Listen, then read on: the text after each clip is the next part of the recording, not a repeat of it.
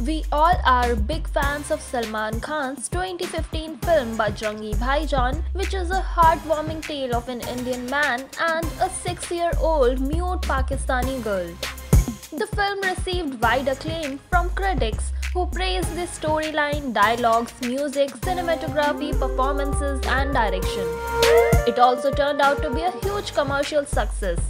And now, Salman Khan has just confirmed its sequel. On 19 December 2021, Salman Khan attended an event to support S.S. Rajamouli's upcoming directorial RRR that stars Junior NTR, Ram Charan, Alia Bhatt and Ajay Devgan. During the event, Salman Khan spoke about how Bajrangi Bhaijaan is one of the best films of his career and thanked S.S. Rajamouli's father K.V. Vijayendra Prasad for the same.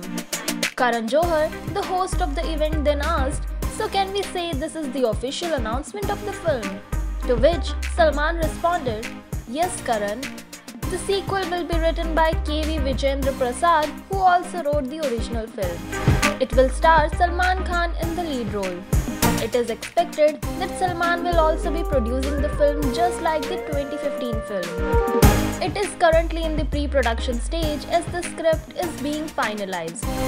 We can expect the film to go on floors in 2022 after Salman wraps up the shooting of Tiger 3.